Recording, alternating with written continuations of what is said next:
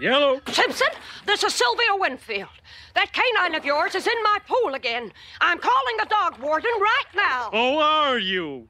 Well, you go ahead and call your precious dog warden, you old battle axe, because my dog is tied up in the backyard. There's only one family on this block.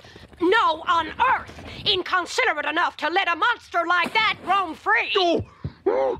Are you losing your hearing or are you just stupid? I am going to explain this to you one more time and then I'm going to hang up on you. It is not my dog. I tied my dog outside myself. I am looking at him right now. Well, howdy do's